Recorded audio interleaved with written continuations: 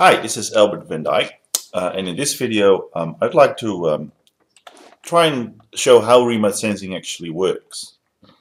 Um, so we can start with our own eyes um, and we can have a, a, good sense already of how passive remote sensing works because the way it works in remote sensing instruments and in human eye is actually quite similar.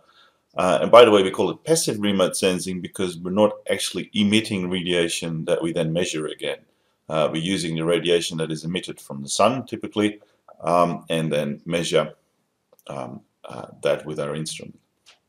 So here's a picture of the human eye, a diagram, uh, and it shows you some of the components that you'll also find in, uh, in uh, remote sensing instruments. So we've got a protective layer, the cornea uh, here in particular, and then inside the eye the light first passes through the pupil, the, the opening that determines uh, how much light comes in. Then it passes through a lens uh, that uh, that uh, focuses the light uh, on the uh, the back of the eyeball, and then here we have the retina fed by the blood vessels and the optic nerve, which takes the, the, signal that is received to the brain. and if we look at the retina in bit detail, we see that there's different cones and rods, different sensors essentially, uh, with the cones measuring a specific uh, wavelengths, the red, blue, and green wavelengths particularly, uh, and the rods uh, measuring uh, right across those to get a sharper general view. And actually, that's quite there's quite a lot of similarities between that and how a remote sensing system works. Uh, so if we look at a digital camera, which is arguably one of the simpler remote sensing uh, systems or instruments, um, you see that same lens, uh, you see the uh, wavelength filters that the light is passed through before the actual uh, light intensity is read by a, by a, a sensor array uh, that you see here in yellow. Uh, and then the little voltages from each of these uh, sensors are passed on to the instrument equivalent of the brain. So um, converted first from analog to digital numbers and then stored on a card in this case. So there's really quite a lot of uh, similarities there. Um, now active remote sensing, as I was saying, is a bit different because there we actually emit radiation uh, and then we measure how much of it comes back. So radar is a typical example of that. Uh, radar stands for radio detecting and ranging because it uses radio frequency um, uh, radiation to uh, to measure something uh, uh, to, to, to get some knowledge about the environment. And that can be finding planes as in this example uh, can also be finding rain or, uh, or mapping the surface. Um, similarly, LiDAR uh, is uh, a similar system, um, but then using the visible or the near-infrared radiation uh, and LiDAR stands for light detection and ranging. And in some ways, it's comparable but quite different also as opposed to sonar, which is sound navigation and ranging, which is often used underwater. Um, of course, in that case, we're not using radiation, we're actually using sound waves. Uh, and so here's a, a, an example of, uh, of, a rainfall radar, as you might find it. Uh, the nearest here is Captains Flat, for instance. Uh, the uh, radius, radar signal is emitted, uh, and the various raindrops bounce back some of that radiation, and that's what the station measures. Um, two quite fundamentally different ways of measuring radiation uh, such an optical instrument, uh, particularly, is through whisk broom scanners or push broom scanners. Uh, and that, that, that, different can, that difference can be important once you start looking at imagery because it will explain some of the issues that you might find.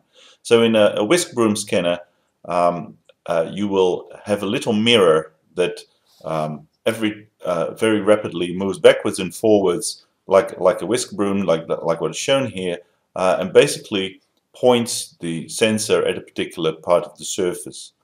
And so you gradually build up a line and as the instrument moves forward, uh, then also you start automatically um, sort of uh, building a picture, building an image. Uh, and the old Landsat um, instruments used to have such a, um, a whisk broom scanner. Now, arguably, most modern systems these days have uh, push broom scanners where you've got essentially an array of, of sensors uh, that immediately measures the whole width of the swath. So we call this uh, the this this uh, the area that we look at. We call that scan swath, and we've got an array of sensors that instantly measures that whole line. so it's quite a different way of, of measuring. So the advantage of a, of a whisk broom scanner is that you only need one sensor and can be quite sensitive uh, and therefore can uh, get quite a sharp sort of um, a, a, sensitive measurement for each pixel individually. Um, the uh, disadvantage, I suppose, of a push broom scanner is that you need a whole array of sensors and therefore you know, the costs go up uh, and the sensitivity typically goes down. But having said that, um, the um, most missions these days use so-called push broom scanners or long track scanners. Um, now, when you start looking at active uh, instruments, it's a whole different story because, uh, for instance, radar uh, does not look straight down. It has to look at an angle. So the emitted radiation uh, that returns to the antenna is actually uh, coming at an angle, and, and that uh, creates some very interesting challenges in interpreting those data. So basically, it, it is able to look on either side of the satellite on the ground, but not right underneath. Now, very basic geometry, I suppose. Uh, when we look at the satellite, um, there's a few uh, terms that are important. Nadir basically means looking straight down to the surface, uh, to, towards the center of the Earth, if you like, uh, whereas zenith is, um, is uh, going straight up from the surface, uh, away from the center of the Earth. Um, the solar zenith angle is the angle between this direct nadir line and the Sun um, the direction of the sun. And of course, that's going to be determining how, how your uh, uh, lens surface is illuminated and what sort of shade effects you might get. Um, elevation angle is a complement of uh, that solar zenith angle, which is the, the, the, the uh, angle between the horizon and the solar inclination. And to give you sort of some uh, uh, examples of how that plays out in practice, of course, you see here uh, an example of the Great Pyramid in Giza. And of course, you're always going to have, um, unless the sun is right behind the instrument, which can sometimes occur, but most of the time you'll have some sort of shadow. And of course, you, that's what you're seeing here. That can be um, quite a, a, pain in using imagery because interpreting shadows um, um uh, uh, needs to take into account the fact that the illumination differs. So this area here gets more radiation than horizontal plane, and obviously this uh, part here gets much less. So here's another effect um, that you get that has to do uh, with uh, with uh, illumination and uh, and, uh, and perspective. And um, I'm going to challenge you to work out whether there's anything wrong with this image, uh, and if so, what might what might be the reason for that. All right, so we looked at the instrument. Now, there's a bit more that comes to to um, uh, uh, deploying a satellite. Uh, and uh, and uh, here's a, a, nice example of uh, a thing called ArduSat. Now this is actually a satellite you can build yourself. It's intended for school classes and the like. and for $3,000 or thereabouts, you can get this at home. You can build your own satellite. Uh, and uh, this company will uh, chuck it out of the International Space Station for you and it will remain in orbit for a while there and you can do your own experiments. So it's pretty cool stuff. You need a little bit of money. Um, if we look at one of these ArduSats, you see here um, uh, what engineers tend to start with is the frame, I suppose, uh, and the solar panels. You need an energy source. Uh, you see here the antennas, which you need to communicate with the satellite and, of course, to, uh, to uh, receive data. Uh, the electrical power supply that stores the solar energy.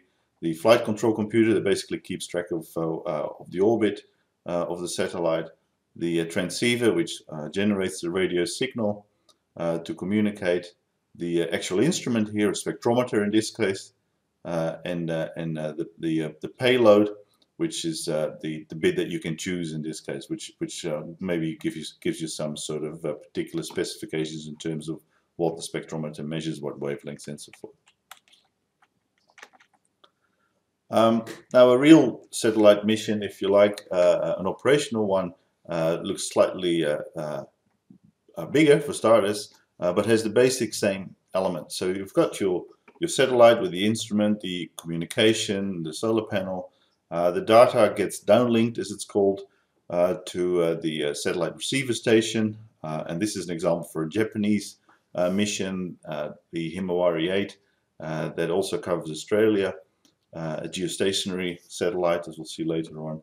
Um, so all the data gets received at this ground station uh, and then is uh, uh, uh, accessible through an internet service to people that are, you know, whoever's connected via the internet. But also it's being made available for a more um, quicker and broader bandwidth communication, I suppose, via a communication satellite to those people uh, who have got a, a, communication receiver. And so I guess uh, this sort of circumvents the, uh, the need of using cabling uh, uh, and, and, the internet. Um, so this whole part often gets called the ground segment of a satellite mission.